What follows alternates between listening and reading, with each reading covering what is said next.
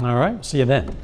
Summer and heating up the next few days. It means more people are going to be heading out in the water, and if that includes you, well, the Grand River Dam Authority has some tips to help enjoy the water safely.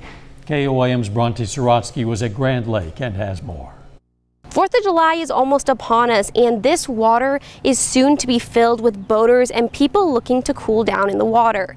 But if you are looking to do that this holiday, there are some safety tips to keep in mind. Fourth of July is our busiest time on the water. That is our busy weekend. Um, we always see a lot more people come out that maybe haven't had a chance to come out in, earlier in the summer or maybe won't come out again. But certainly, yes, 4th of July is, is really the peak boating season on Grand Lake. Since Memorial Day weekend, the Grand River Dam Authority police have recovered one body from Grand Lake and one from Flint Creek. It's why they're stressing boating safety as we head into summer. Well, there are three things that we always stress.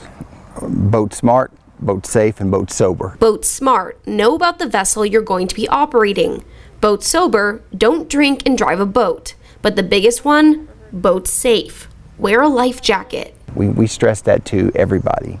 Uh, wear your life jacket. Of course, Oklahoma law requires kids certain age to have a life jacket on, and it also requires life jackets to be in the boat for everybody. But we like to see everybody have that jacket on. With extra boaters on the water, the GRDA is also reminding everyone to take their time and to be careful. The lake's big enough for everybody. You know, we expect a large crowd, but it's big enough to accommodate everybody if you'll just take your time and just enjoy yourself. So always watch out for the other guy, watch your speed, and uh, you know make sure you're obeying the no wake signs in those areas under bridges and, and things like that. In Langley, Oklahoma, Bronte Sorotsky, KOAM News.